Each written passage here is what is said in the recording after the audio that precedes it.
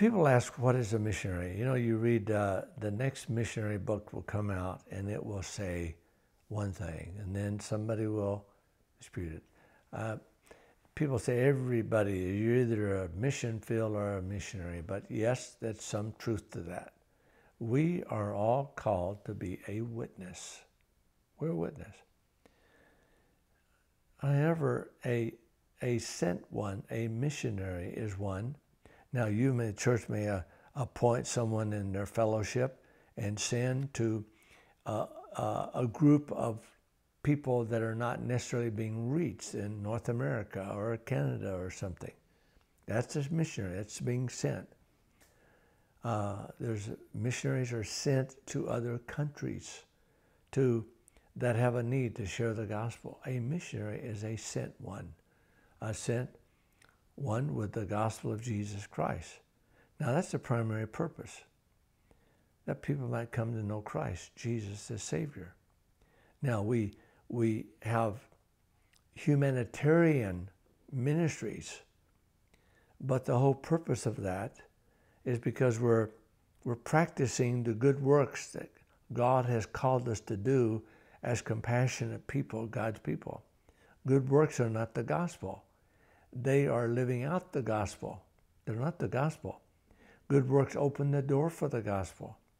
But Christ Jesus came to this earth to save sinners. And we need to share the good news of Christ.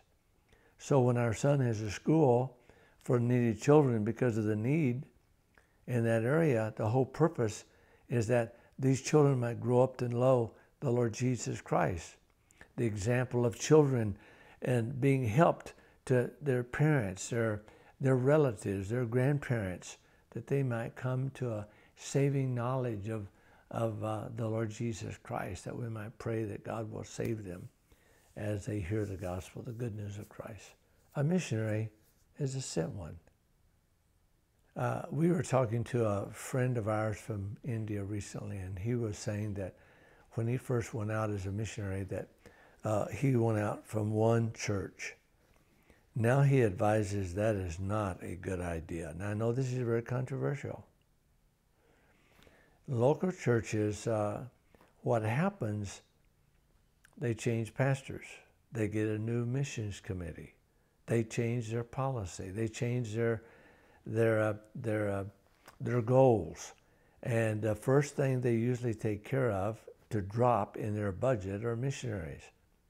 So we have always encouraged to be sent out from a local church, yes, but also to have contact with other local like-minded individual churches, uh, churches, plus many, as many as possible, individuals that will pray for you and, and, and support you in ministry. Because uh, churches fail. And the first thing they they eliminate are their missionary force. And so our donors, uh, donors, I like to call them partners in ministry. I don't like to even say, thank you for partnering with us. My, I think Margaret and I like to say, it is an honor to partner with you in your responsibility as a local church or individual to uh, take the gospel to the ends of the earth we are partnering with you. We're part of the family of God to do this for the kingdom. So, uh, eh, you know, it's wonderful. We got we get gifts. Um, we got a gift from a little. You know, you have these little stories of this little old lady someplace in the middle of nowhere who gives her mite. Little? That's true. We received a gift of ninety-seven dollars uh, a check recently from someone here in the States. We live in South Carolina. And she said, I hope you can cash this check in South Carolina. I guess she thought this was the boonies or something. And uh, she said that I'm on Social Security. I'm limited finances. I have been saving my change for a year. It is enclosed. Please use this for ministry. 90 seven dollars. Doesn't sound like much. Supports a pastor for three months in the Philippines. It sends uh, three children to camp for one week. It supports uh, uh, it supports uh, a child in a school for three months. Ninety-seven dollars. Sacrificing a little from us makes a big difference overseas. Well, we couldn't do it. We couldn't do what we do. We couldn't be involved in the ministry that we're involved in without God's people um, working as co-workers with us, because that's really what they are.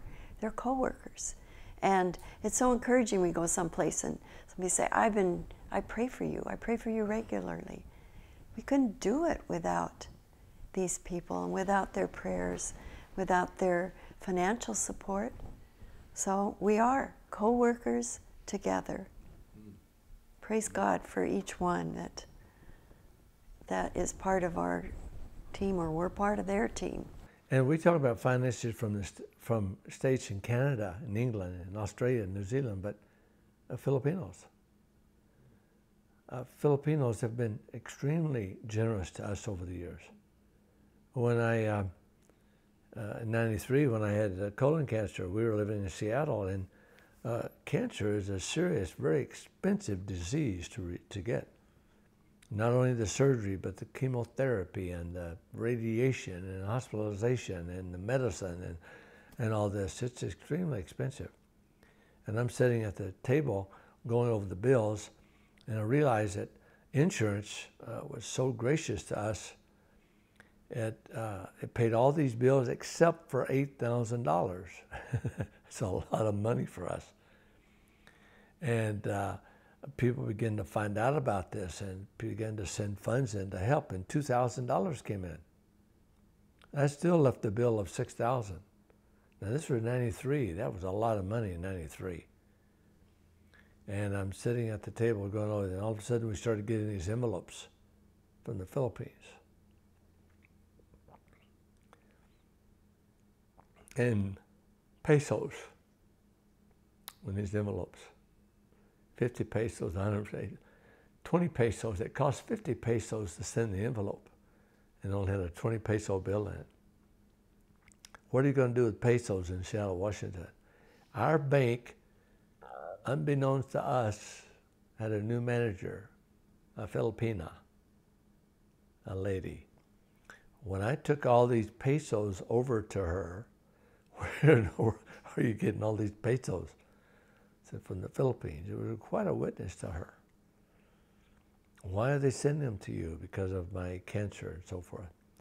When they she exchanged that those pesos, it came to six thousand dollars. So our cancer bill was paid by Filipino uh, sacrificial giving. See the dollar bill that looks like it probably made in 1920. Somebody had saved it so often. And even talking about sickness, uh, we, uh, recently in the Philippines, uh, just a couple of years ago, three years ago, I had pneumonia.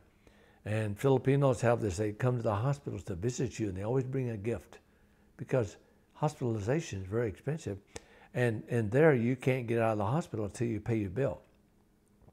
So they would bring money and I'd stick it in the bag next to my bed and uh, uh, thank them. And here's sacrificial giving of these people coming to this Americano man supposed to have so much money and, and they're bringing this gift. And the thing about it was that we had some other friends come in. They didn't have money.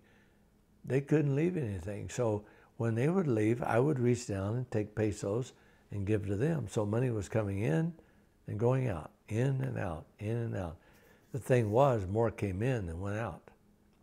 So we were released from the hospital. Margaret takes this pesos, not knowing what the bill was. She goes downstairs, and we had exactly the amount of money to pay the bill. She comes back upstairs. We're packing my bags. The phone rings. and it's a woman. I did not know who she was. She said, uh, Mr. Nichols, uh, I, we got a problem down here. I don't understand. I'm here to pay your bill, and they say it's been paid. I said, Well, yes. She says, But you're a missionary. You're not supposed to have any money. How was it paid? I said, Well, people came in, and she says, uh, Are you telling the truth? Did you have to borrow the money? I said, No, ma'am. She said, Well, I don't like this at all because I came to pay the bill and it's already paid. And she hung up. now, when that, does that ever happen? Found out later, never knew who she was, but somebody thought, a pastor friend of mine, I think I maybe know who that is. She's been gifted with finances and she loves to pay the hospital debts of God's servants. You know, that's how God has provided for us over the years.